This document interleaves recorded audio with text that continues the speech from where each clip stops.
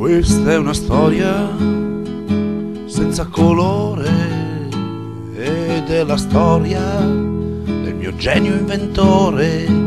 Perché scienziato io non ci sono nato, però di certo lo sono diventato grazie a mio zio.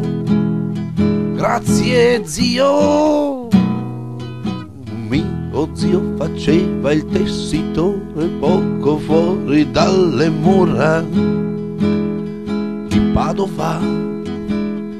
Aveva un campionario estate e inverno che ti stava veramente da favola.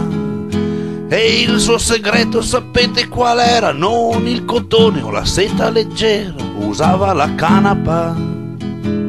Oh zio, un giorno il caro zio ha fatto il botto al tombolone di San Luigi. Ha subito mollato tutto quanto ed è scappato a Parigi. Fa lo stilista e nel granaio dimenticato giace un raccolto che ormai si è seccato. Ma guarda che ben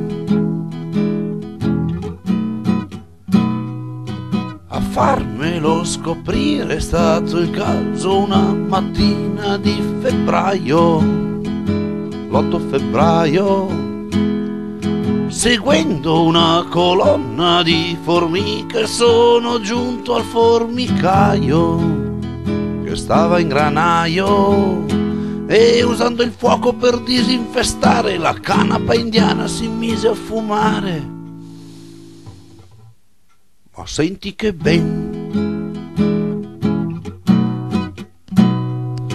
Di colpo mi trovai in un mondo dove tutto era diverso. Non c'erano problemi ed ogni cosa andava per il giusto verso.